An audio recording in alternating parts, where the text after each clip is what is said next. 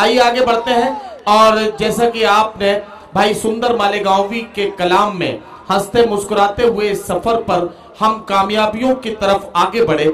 आइए थोड़ा सा और आगे बढ़ते हैं और यहाँ से एक नौजवान को अपने साथ लेते हुए इस सफ़र में थोड़ा सा आगे बढ़ते हुए ये कहना चाहता हूँ मैं कि चाहतों की जरा सी दस्तक पर दिल का दरवाज़ा खोल सकता है। इश्क ऐसी जबान है प्यारे जिसको गूँगा भी बोल सकता है।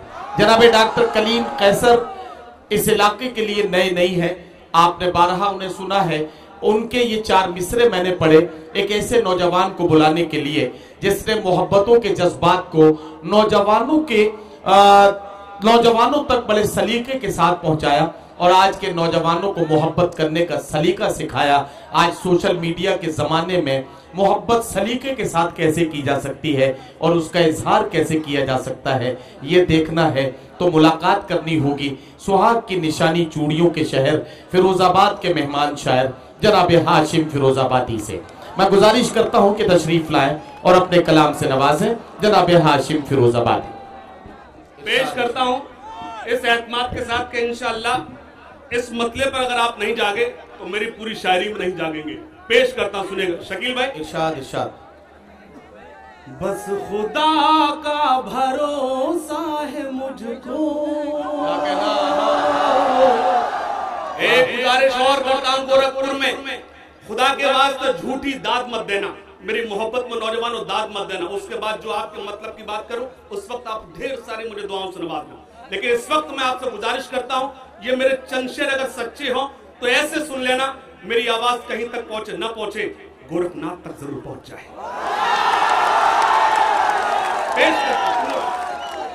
बस खुदा का भरोसा है मुझको। पहले मिसरे में आप शरीक हो जाएँगे। बस खुदा का भरोसा है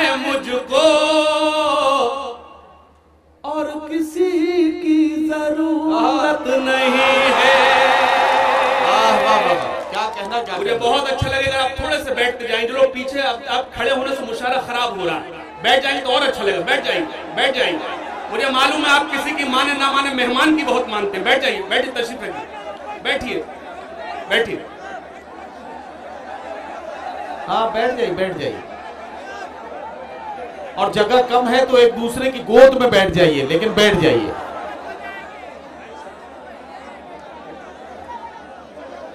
बस खुदा का भरोसा है मुझको।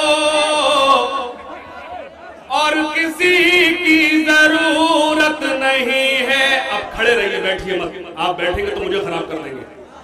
बस खुदा का भरोसा है मुझको, और किसी की ज़रूरत नहीं है। बस खुदा का भरोसा है मुझको, और किसी की ज़रूरत नहीं है। उसके सजदों से जो मुझको रोके, ऐसी कोई हुकूमत नहीं है हाशिम क्या कहना क्या कहना बाबा ये क्या गज़ल छेड़ दी यार वाह वाह वाह।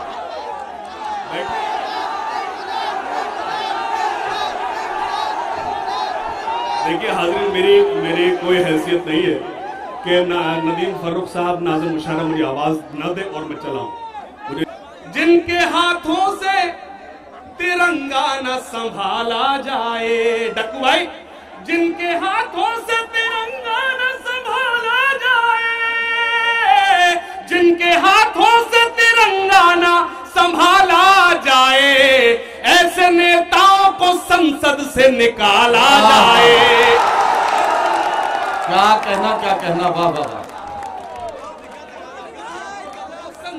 वाह, वाह। जाए अब एक शेर पढ़ता हूँ। इरशाद। अब मेरी कौम को शकील भाई अब मेरी कौम को ये बात बतानी है मुझे। अब मेरी कौम को ये बात बतानी है मुझे। अल्लाह करे आप मेरा इशारा समझ जाए। अब मेरी कौम को ये बात बतानी है मुझे। आस्तीनों में कोई सांप न पाला जाए। क्या कहना क्या पाला जाए। कोई सांप न पाला जाए। और हाजरीन ग्रामी शायरी ने मुझे इतना बड़ा इनाम दिया उससे बड़ा इनाम अब शायद मुझे नहीं मिल सकता। खुदा का शुक्र अभी एक हफ़्ता पहले मैं उम्रा करके लौटा हूँ। जद्दा में मदीना में दो मुशायरे थे। मैं एक मतलब पेश करता हूँ मतलब आप तक पहुँचा होगा। इरशाद। पेश करता हूँ और खास तौर से अपने मेहमान खसूसी मोहम्मद आज़म खान साहब की दुआएँ चाहता हूँ अ, मतलब पेश करता सुनेगा। कौन करता है ये दावा के बड़ी है दुनिया? कौन करता है ये दावा कि बड़ी है दुनिया? हम किसी से पूछे? अगर दुनिया की डेफिनेशन पूछते हैं कि दुनिया कितनी बड़ी है तो एक ही जवाब मिलता है कुर्सी पर बैठे लोगों आपने अभी तक अपनी खामोशी नहीं तोड़ी है। एक ही जवाब मिलता है कि दुनिया बहुत बड़ी है। मैं बताता हूँ गोरखपुर में दुनिया कितनी बड़ी है। अगर बताने में कामयाब हो गया हूँ तो जो मेरी माएँ बहनें बैठी हैं वो मुझे शर, मेरे मुझे दुआओं से नवाजें। जो मेरे तमाम फेसबुक फ्रेंड्स बैठे हैं उनके लिए सिर्फ़ इतना कहूँगा साबरीन। अल्लाह सब्र करने वालों के साथ है। एक मतलब पेश करता हूँ अगर मैं बताने में कामयाब कामयाब हो गया हूँ तो आप सब शरीक हो जाए सुनिएगा। कौन करता है ये दावा के बड़ी है दुनिया? कौन करता है ये दावा कि बड़ी है दुनिया? इससे अच्छी शायरी में ज़िंदगी में नहीं कर पाया और ये भी सच है कर भी नहीं पाऊँगा। मैं बताता हूँ कौन करता है ये दावा के बड़ी है दुनिया? कौन करता है ये दावा के बड़ी है दुनिया? मेरे सरकार के कदमों में पड़ी है दुनिया। कहना, क्या कहना, हाशिम? वाह वाह वाह कौन करता है ये दावा के बड़ी है दुनिया? मेरे सरकार के कदमों में पड़ी है दुनिया। मेरे सरकार